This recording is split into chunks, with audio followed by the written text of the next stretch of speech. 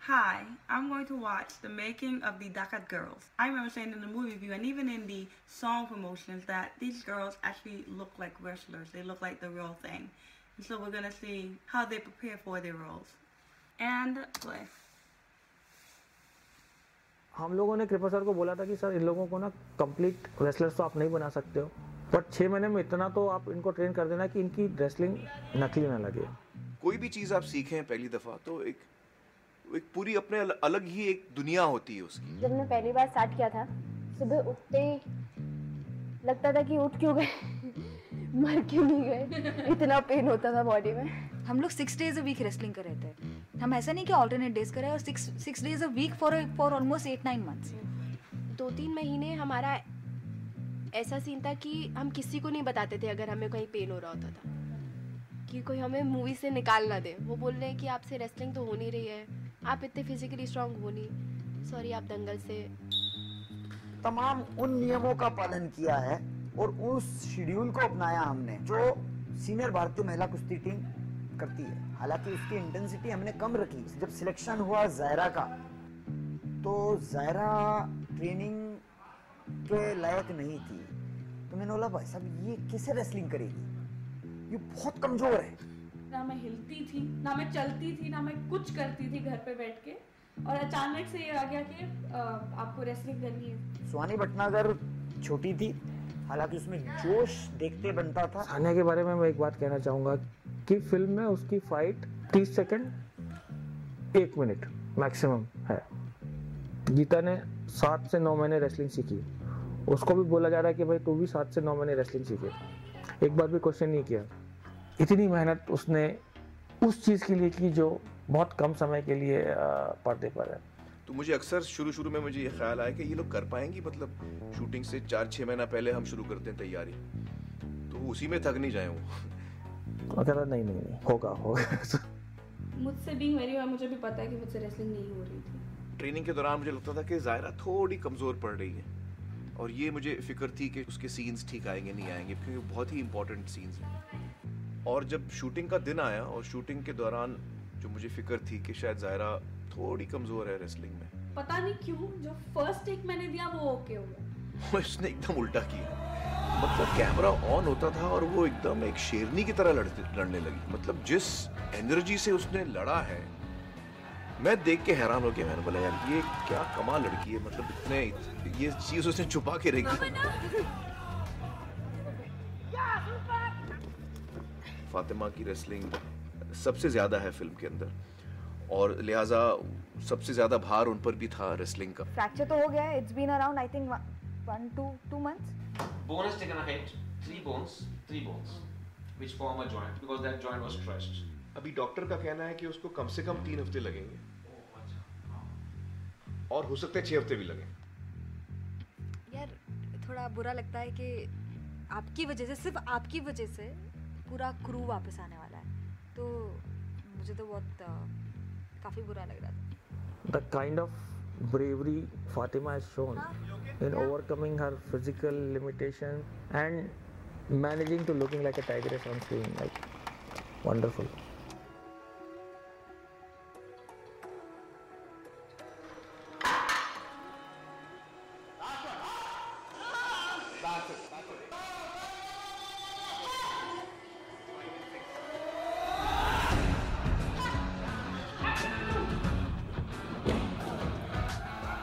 ऐसे करते करते उनका फिटनेस लेवल बढ़ता गया।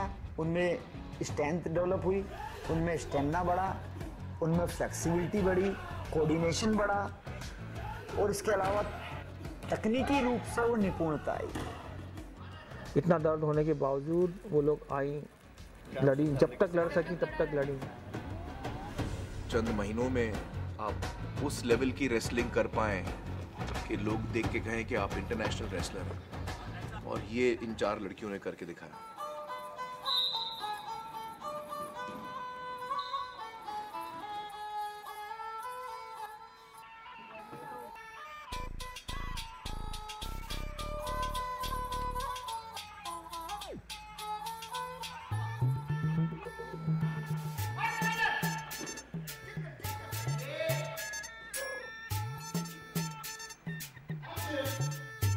Shut और टी शर्ट पहन के आया साइकिल लोन।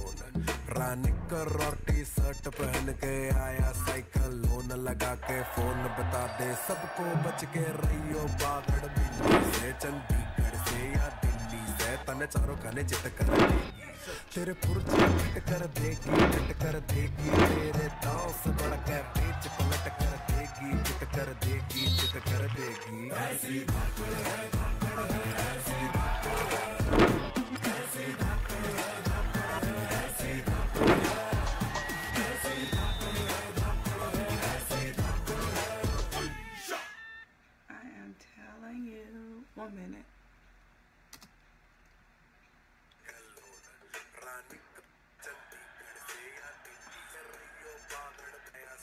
लोन लगा के फ़ोन बता दे सबको बच के रहियो बागड़ से चंडीगढ़ से या दिल्ली से तने चारों खाने जित कर देगी तेरे पुरजे फिट कर देगी, फिट कर देगी, तेरे दांव से बड़ा कै बीच पलट कर देगी जित कर देगी जित कर देगी। ऐसी धड़कन है धड़कन है, ऐसी